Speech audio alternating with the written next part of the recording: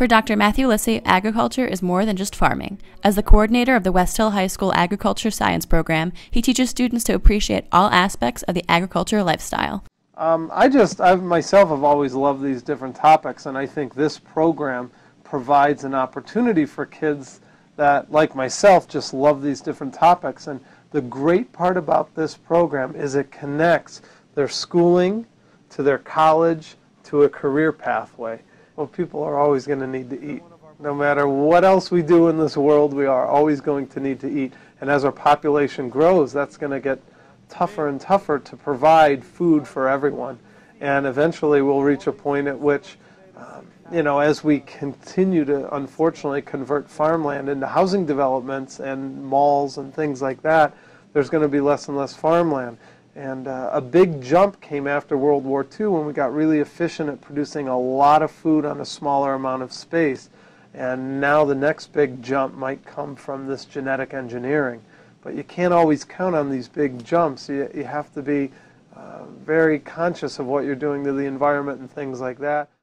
The program, which is funded through the state as well as the school budget, works with students for the entire four years of their attendance at Westhill and offers unique high school classes in agriculture as well as college credit classes in conjunction with UConn. And tell me a little bit, first look at me, and tell me a little bit about the program itself. The program is designed to be a four-year program. It's set up by the state of Connecticut, and it's partially funded by the state of Connecticut. And kids come to us as freshmen, and we have them as, for one period a day, and as sophomores, juniors, and seniors for two periods a day. Now, as juniors and seniors, they actually pick which specific ag topics they want and which classes.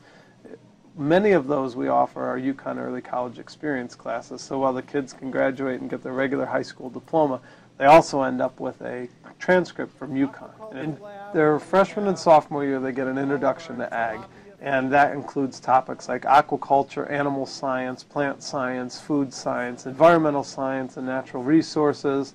Um, we also teach them about the FFA, which is the used to stand for Future Farmers of America, but now they just call it the National FFA organization. Dr. Lisy explains that while the national perception of agriculture may not be a positive one, the field is important and should be taken seriously all places, again, need food, and I think um, there are ag programs across the country. Connecticut funds this, our ag program, and we're kind of leaders in the country as, uh, for that.